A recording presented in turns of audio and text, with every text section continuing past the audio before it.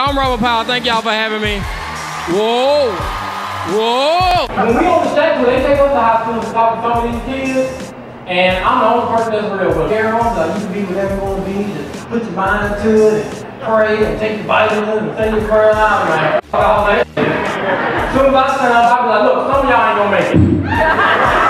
Somebody got some hamburgers and it's gonna be some of y'all, you know what I'm saying?